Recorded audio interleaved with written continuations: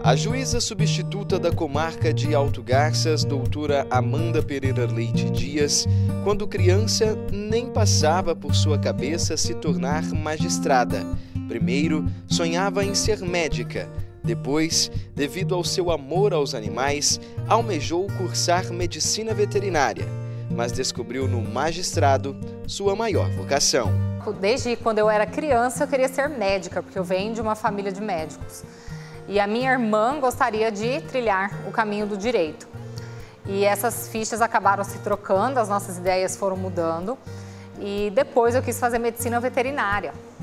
Interessante que eu prestei o vestibular, passei na UFMT aqui inclusive. E conversando, quando eu estava falando com a psicóloga a respeito do teste vocacional, ela falou para mim, olha Amanda, faça uma coisa que te permita cuidar dos animais, mas não uma profissão que você lide diariamente com o sofrimento deles, porque eu, sinceramente, eu não dou conta. Eu não, não consigo ver animais sofrendo. A causa animal me toca muito. Depois, eu mudei, a ideia da medicina foi saindo da minha cabeça e eu decidi fazer, fazer direito. E desde o primeiro dia eu já sabia que eu queria ser magistrada. Falei, eu serei magistrada. Sentei aqui e foi para isso.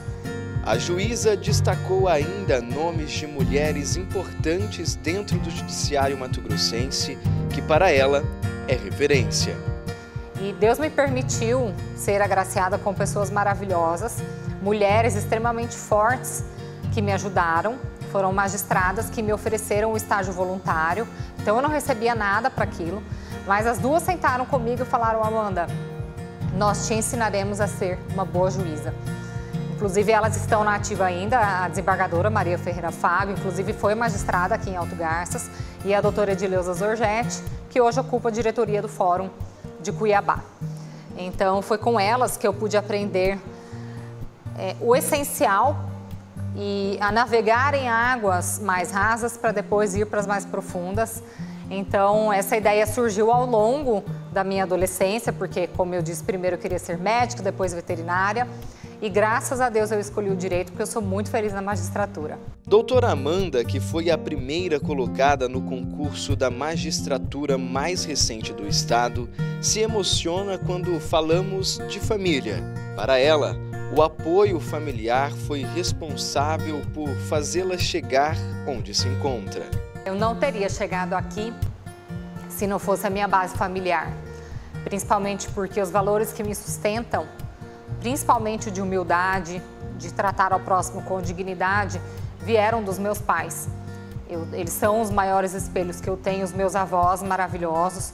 A minha irmã, que eu não tenho nem como dizer, meu irmão, que já faleceu, infelizmente, mas que me acompanhou em toda essa etapa. Então, a minha família é tudo, juntamente com Deus, né?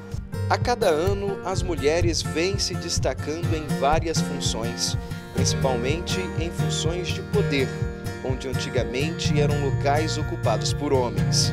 Para a juíza Amanda, o significado de mulher é determinação.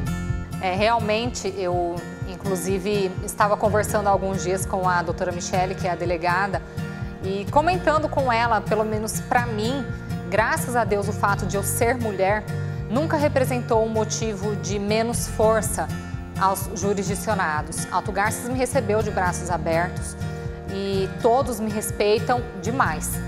E é necessário também a gente entender que a mulher tem que impor esse respeito, porque ainda viemos de uma cultura que não nos favorece completamente. Mas a partir do momento em que começamos a tomar posse de cargos importantes, que passamos a ser autoridades na cidade, a gente passa a ser exemplo a todos os outros. Então é importante saber que a mulher tem, tem um espaço ainda a ser completado, mas que muito dele já foi. O tribunal mesmo, graças a Deus, tem ótimas magistradas e estar aqui e poder mostrar a força da mulher, porque para mim mulher é determinação. Essa é a palavra que define mulher para mim. Então, poder mostrar isso aos jurisdicionados e eles saberem que o fato de estar uma mulher no poder, no caso judiciário, não representa nenhuma fraqueza e, aliás, é exatamente o oposto disso, é uma grande satisfação poder representar. Neste mês destinado às mulheres, impossível não falar de apoio, principalmente às mulheres que são vítimas de violência doméstica. a juíza Amanda Pereira Leite Dias aproveitou o mês da mulher para lembrá-las que não estão sozinhas e que todos os poderes estão todos prontos para atendê-las. Que eu gostaria de falar com as mães e as mulheres vítimas de violência doméstica. Essa é uma pauta importante que nós temos que debater porque o índice de violência doméstica em Alto Garças está me assustando. Os casos de violência doméstica estão demais e eu observo que é necessário expor e colocar o judiciário à disposição dessas vítimas. E infelizmente isso acaba afetando as crianças e os adolescentes que moram nesses lares onde acontecem essas violências.